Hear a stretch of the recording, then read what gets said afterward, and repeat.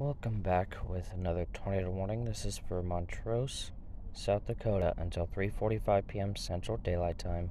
We got quarter-size hail, also possible.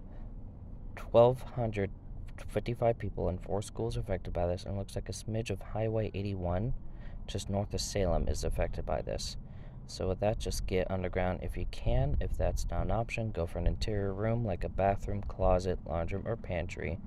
If you're in a mobile home, evacuate for more sturdy shelter and avoid overpasses at all costs, as that's a quick way to get yourself killed. Now, this does appear to be heading for Sioux Falls, so for those of you in Sioux Falls, you might want to keep keep an eye on this. Or is that Sioux City? I get the two mixed up. Um, but anyways, um, let's just recap real quick. Um, tornado warning for Montrose, South Dakota until 3:45 p.m. Central Daylight Time with a smidge of Highway 81. Got quarter-sized hail is also possible. 1,255 people and four schools affected by this. So with that, that does seem to be it for right now. Stay safe. See you in the next video. Bye.